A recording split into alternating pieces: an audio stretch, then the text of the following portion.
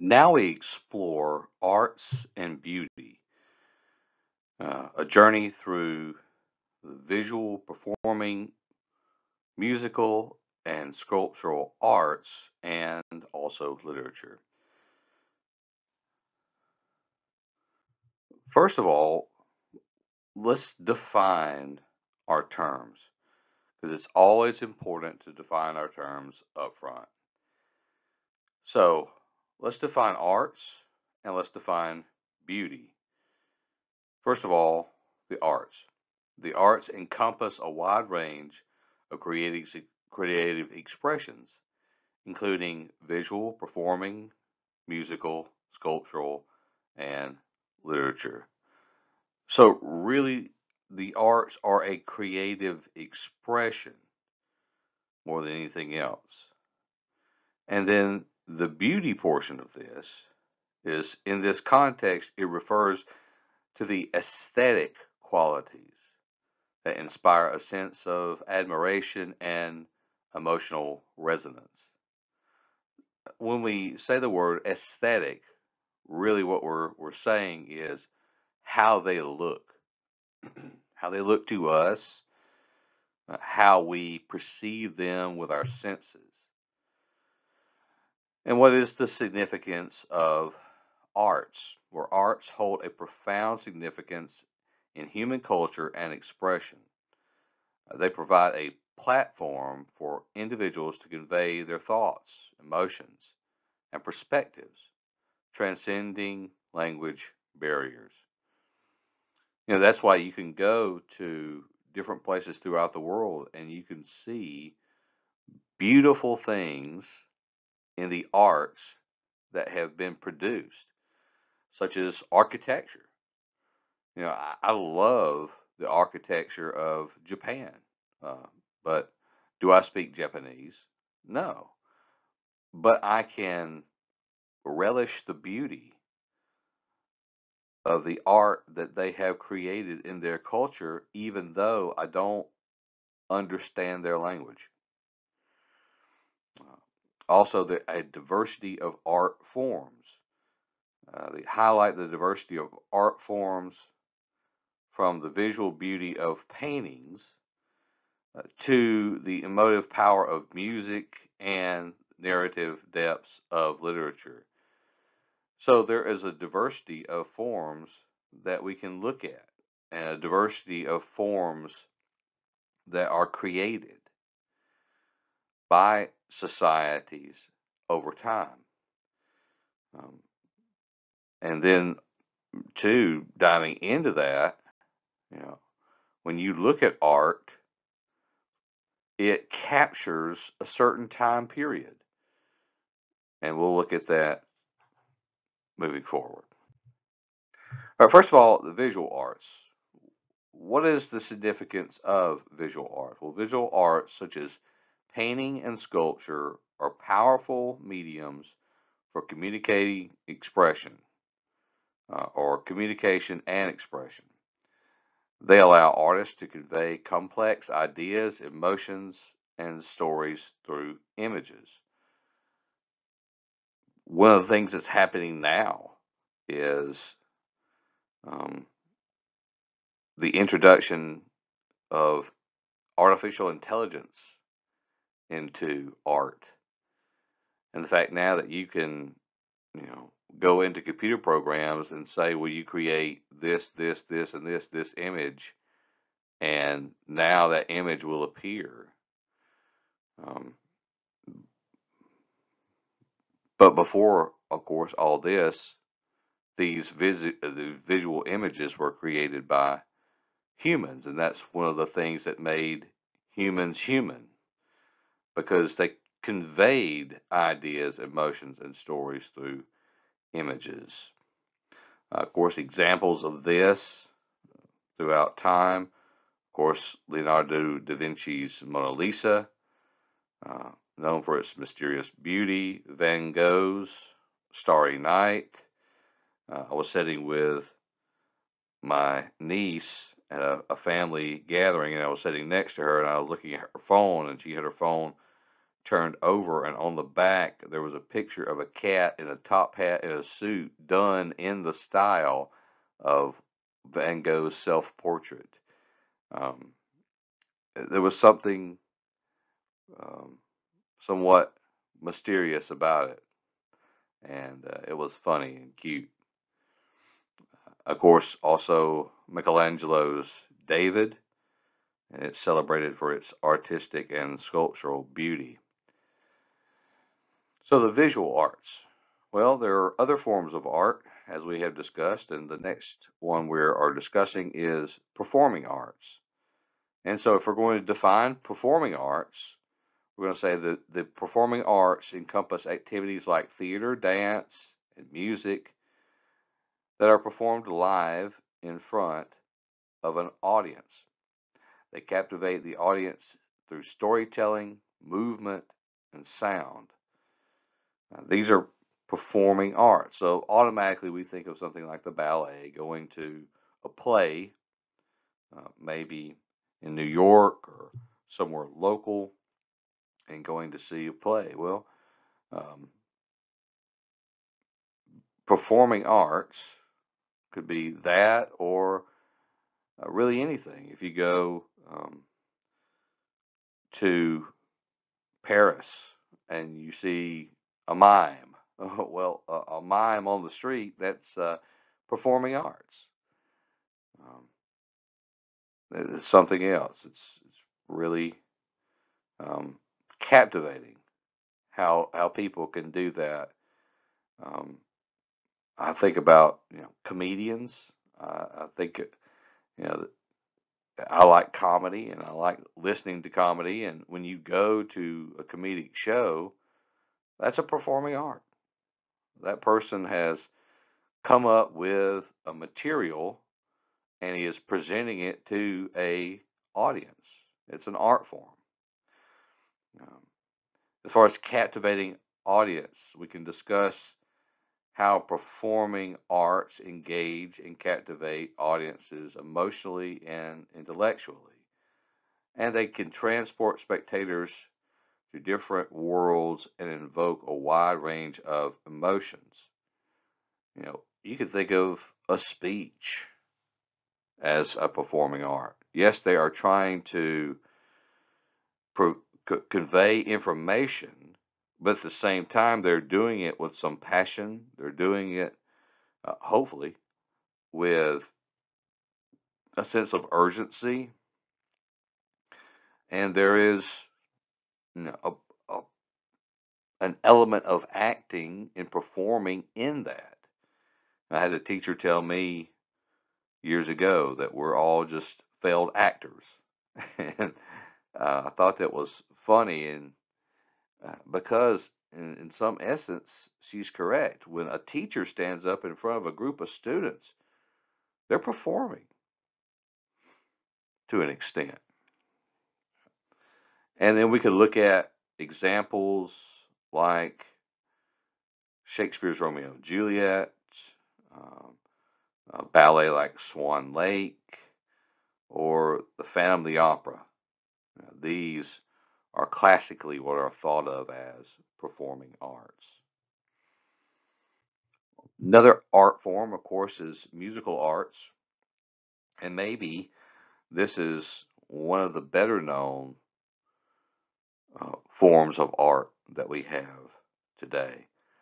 And it can be a wide ranging in uh, genre of music uh, you could have a, a, wide range and it still be considered, of course, a musical art. Um, but the but the power of music, we need to explain the profound impact that music has on human emotions and experiences. Music has the unique ability to invoke strong feelings, transport us to different moods, and tell stories without words. Um, of course, this is classical music telling stories without words. You know, many of um, the musical stylings today are focused uh, primarily on what is said. Um, But then you have musical compositions like Beethoven's Ninth Symphony, uh, even to the Beatles' Abbey Road.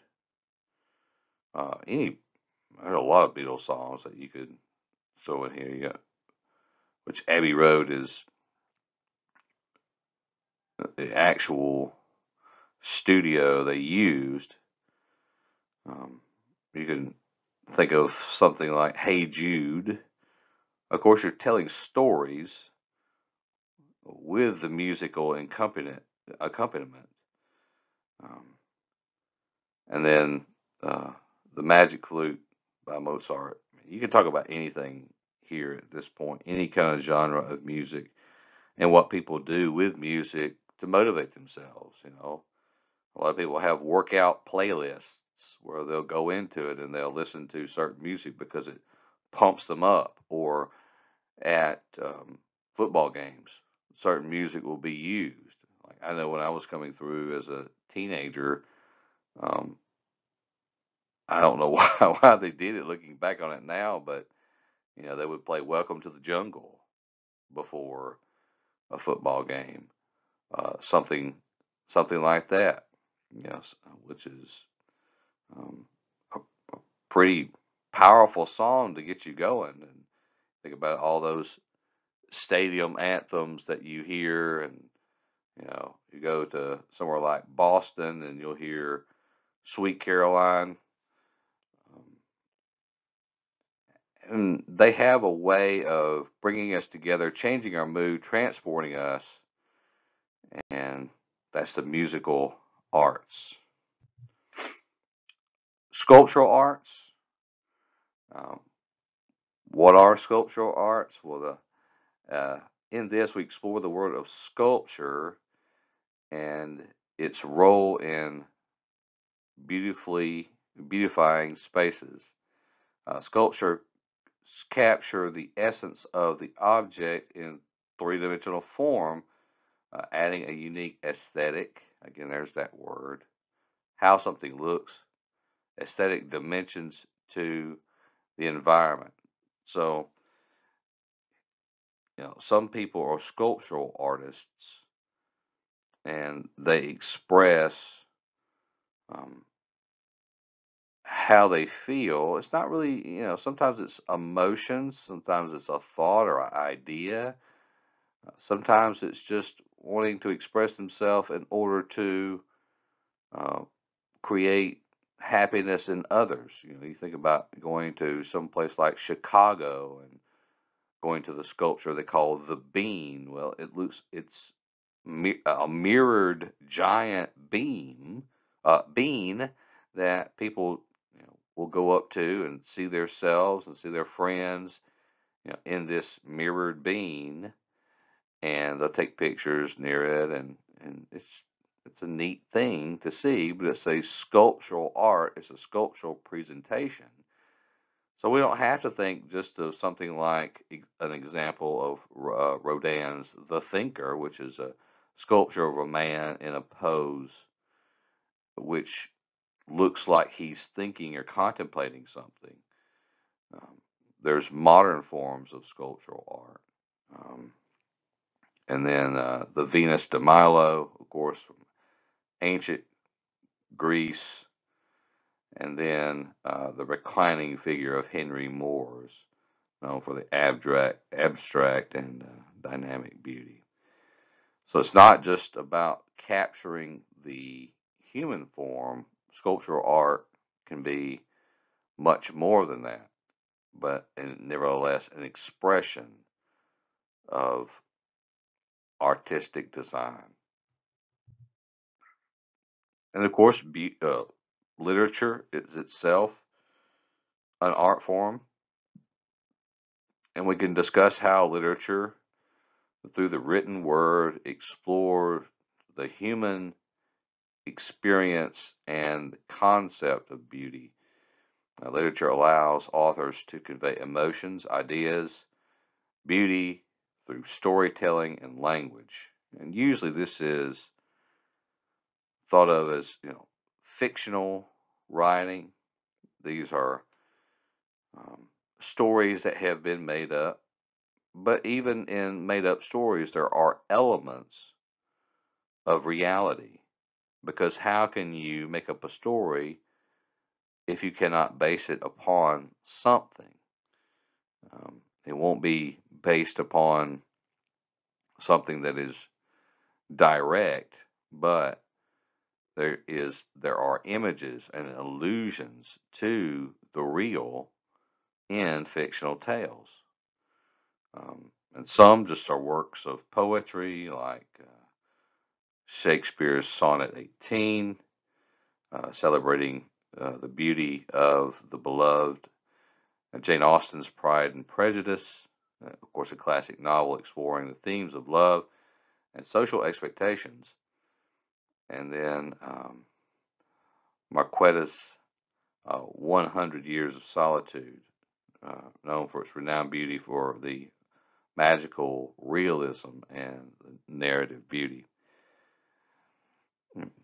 You can think of modern, more modern literature like that of Harry Potter.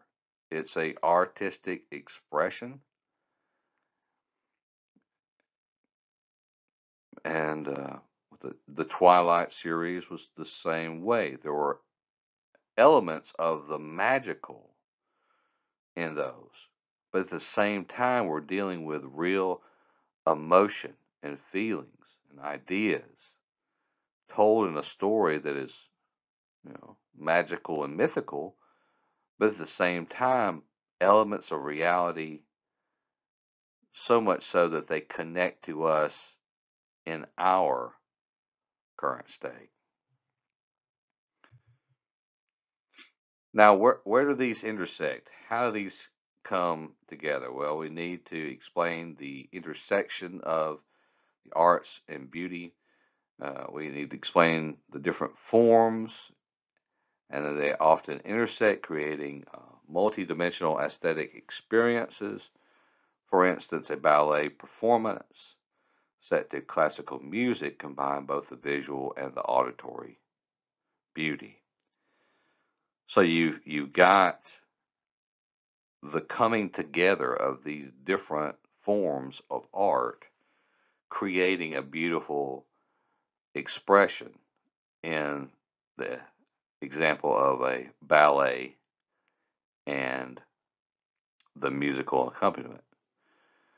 And that showcases, um, we need to showcase instances where these converge, like a visually stunning film with an evocative musical score. Um, you know, there are some films that have been made throughout history that are known more for their music than even the film itself.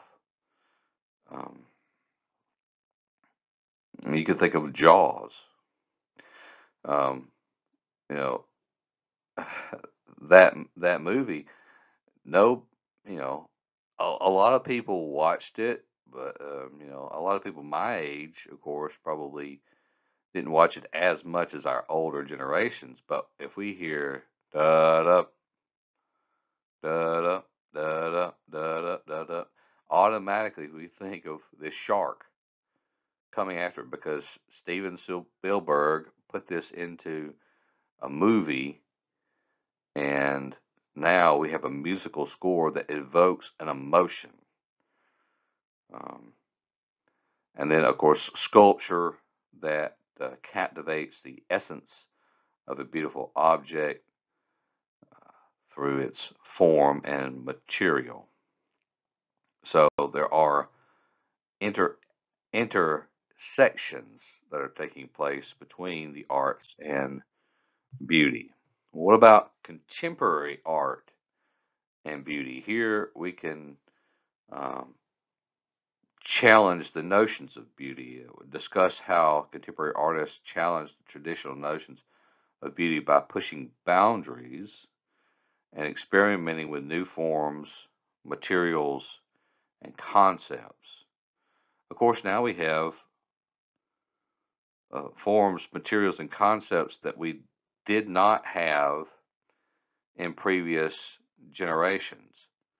You know, we have you know 3D printers that now can we we can write code into a computer and tell a computer what to do and they can create what we want. Um, so we've gone past even you know pen and paper, uh, sculpture, uh, paintings, um, to into something new and something more modern. Um, I'm going to highlight contemporary artist movement, like the abstract art of Pablo Picasso, and which challenges traditional representation. Picasso's art at that time was, you know, of course, modern. Every art at the time it's done is modern art. Um, but it seemed to go into a realm of something new.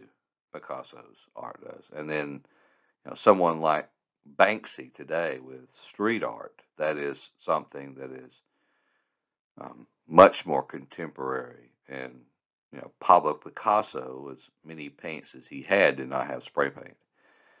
Um, so there are new and modern technologies that one can use to create artistic expression and push the boundaries.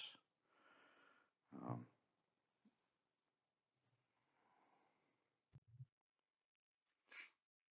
and what's the impact of art and beauty? Well, uh, they have a societal and a personal impact. So here we can explain the profound impact of the in, engaging with art and beauty on both a societal and a personal level. Uh, the arts inspire creativity, foster empathy, and contribute to personal growth. We we do have that. But when you think about particularly architecture, and when you go to some place like Washington, there is a societal impact when you look at the White House, the Capitol, the Washington Monument, the Lincoln Memorial, all of these are there to remind us of who we were and to inspire us to who we can be. And that happens on a societal level, but it also has it happens on a personal level. Um, you know, it could be something as simple as going to a certain place and being so inspired inspired by the art there and the beauty of that place that one would go on to you know learn architecture because they see the beauty that has been created and they want themselves to create beauty that will inspire others. Um, so I want to encourage y'all, I'm going to encourage the audience to discuss um, their experiences with art. Really, here, just think about your experiences with the arts and how they have influenced you uh, whether through emotional connection, personal growth, or creative inspiration. So think about that. Um, can you point to some element of art and the beauty of that art that has inspired you to do something, inspired you to change something? Um, what kind of impact has art had on your life? And I'm just going to summarize this um, and look at a few things. The exploration of arts and beauty reveals a profound and enriching journey through various creative expressions. In this presentation, we delved into the diverse realms of visual, performing, musical, sculptural, and literature, recognizing the significance of art in human culture and expression. Um, remember, art is a universal language. It transcends cultural differences. It transcends language. And art can be found in diverse forms. Uh, the world of art is incredibly diverse, encompassing visual masterpieces, captivating performances, emotive music, sculptural wonders, and the evoking power of evo evocative power of literature. Um, each art form offers a unique lens through which to explore beauty. Uh, we have intersections and convergences when art forms collide, such as uh, going to a performance with musical overlay. Uh, also, contemporary challenges to tradition, contemporary art challenging what was uh, at one point the style, but now has changed. You have that. Uh, you also have an encouragement for exploration. Uh, as we continue to the explore uh, the exploration of arts and beauty, we uh, encourage you to continue your journey. Embrace this diversity of art forms. Uh, find personal connection. Reflect on your personal connections with art and beauty. Engage with art. Um, engage actively with the arts by attending exhibitions, performances, concerts, literary events, uh, discover new artists, genres, uh, and movements, and allow them to inspire you for your own creative spirit. So, in essence, the exploration of arts and beauty is an ongoing and rewarding endeavor. It not only enriches our lives, but also fosters a deeper understanding of ourselves and the diverse cultures that shape the world. So embrace the beauty that surrounds us and the beauty that we create, for it is a source of inspiration, connection, and profound enrichment. I hope you have found this to be enlightening and to help you a little bit to understand the intersection between art and beauty. So if I was going to ask some discussion questions, I may not ask the full question, but you can pause right here and you can see some of the questions that, that might come up later. I may not put it in its full form again, you know, but like number four down here, I'm how has engagement with arts, uh, be it visual, performing, musical, or literary, influenced your personal growth, cre- creativity, and empathy? That'd be a good question. Um, so you may see one of those questions again. Uh, again, I hope you found this helpful, and we'll see you in the next video.